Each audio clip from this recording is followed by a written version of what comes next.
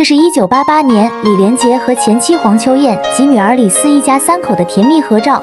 可惜的是，黄秋燕给李连杰生了两个女儿后，二人的婚姻在维持了短短的三年后就结束了。原因是一九八九年，李连杰在拍摄电影《龙在天涯》时以励志相识并相恋。一九九九年，李连杰与励志在洛杉矶结婚。二零零零年和二零零三年，励志又先后给李连杰生了两个女儿。几年前，某社交平台晒出了李连杰和前妻所生的二女儿李台蜜的美颜照片。她身材高挑，颜值非常好，而且还是女子世界足球的冠军。论颜值和才华，都不输于李连杰和励志所生的两个女儿。如今五十九岁的李连杰也算是真正的人生赢家，不仅有美艳的妻子，还有四个美丽的女儿。如果再有个儿子，那人生就更完美了。